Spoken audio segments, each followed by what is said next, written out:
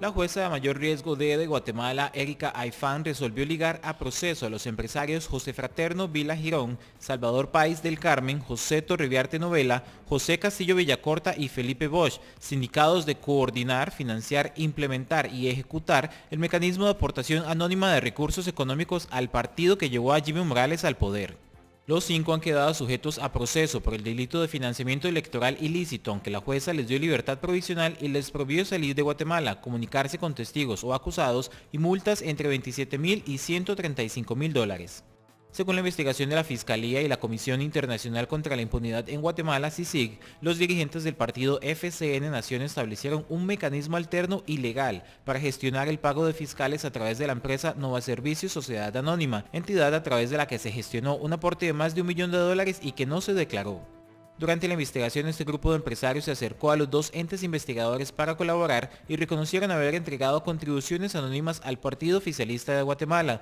aportando como pruebas documentos de las transferencias de dinero o los depósitos. Por este mismo caso fueron procesados el pasado 3 de mayo los empresarios Luis Rodrigo Arenas Echeverría y José Andrés Botrán Briz, sindicados de coordinar y ejecutar de manera anónima aportes y pagos al partido en la campaña de Jimmy Morales de 2015.